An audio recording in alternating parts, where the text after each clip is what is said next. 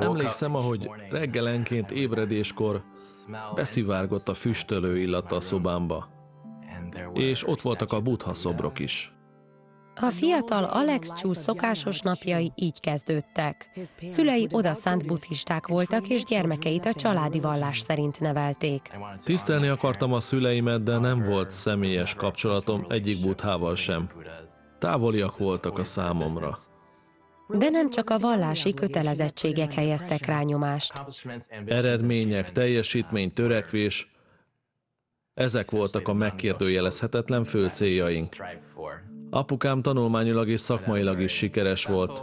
Két doktorátussal, amelyből egyet a Harvardon szerzett. Nagy kihívás volt az árnyékában felnőni. Az anyukám gyakran mondta, hogy szeret engem. Apám inkább úgy szeretett, hogy azt mondta, hogy többre vagyok képes, mint gondolnám. Alex szülei elvárásainak megfelelően a buddhista szokásokat követte. A kényszer miatt úgy éreztem, hogy csak akkor fogadnak el, ha mindenből ötösön van és osztály első vagyok. Általában olyan visszajelzéseket kaptam az eredményeimre, hogy na hát, 99%-os lett a teszted, 100%-os kellene, hogy legyen. Így akartak inspirálni, hogy jobban teljesítsek. Ez elég elterjedt az ázsiai származásúak között. Ahogy nőtt, kezdett elbizonytalanodni. Talán középiskolában kezdtem önállóan gondolkodni. Nem csak a hitemről, hanem arról is, hogy elfogadjam-e igaznak, amit a média mond. Amit látok a tévében és hallok, hogy legyen saját véleményem. Alex végül is az egyetemen találta meg az igazságot, de nem vallás vagy filozófia órán, kollégiumi társain keresztül.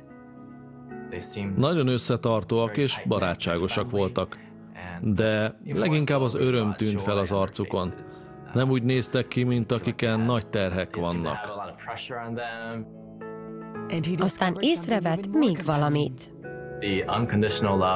A feltétel nélküli szeretet, amit a keresztény hit tanít, és az, hogy lehetséges a kapcsolat Istennel, több szempontból is meglepő volt számomra. Másodévben megkérdezte az egyik srácot, hogy velük tarthatna-e az egyik keresztény egyetemi ifjúsági összejövetelre. Első ízben hallottam Isten kegyelméről. Az érzelem azonban kevés volt ahhoz, hogy elhagyja szülei hitét. Értelmes válaszokat akart rengeteg kérdésre.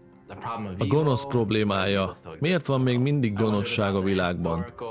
Érdekelt a Biblia történelmi megbízhatósága és az ihletettsége is. Döntése azonban a legfontosabb kérdésen függött. Ki Jézus? Az, akinek mondja magát. Elkezdett egy bibliaiskolát, hogy kiderítse. Ami leginkább hatott rám, az Jézus tekintéje volt, ahogy beszélt, és az a szeretet és együttérzés, amit az emberek iránt tanúsított. Összevetettem azt, ahogy Jézus viselkedett, azzal, amit állított. És arra jutottam, hogy ő tényleg Isten fia. Akkor egy személyes imát mondtam Istennek. Teljesen biztos voltam benne, hogy ő Isten fia, aki meghalt a bűneimért, és vele örök életem lehet. Ekkor el kellett mondania a szüleinek, hogy keresztény lett. Évekbe telt, de végül is elfogadták a döntést. Az egyetem után Alex mérnökként dolgozott, míg nem Isten teológiai képzésre hívta el. Közben elvette Michelt, akivel már három gyermeket nevelnek.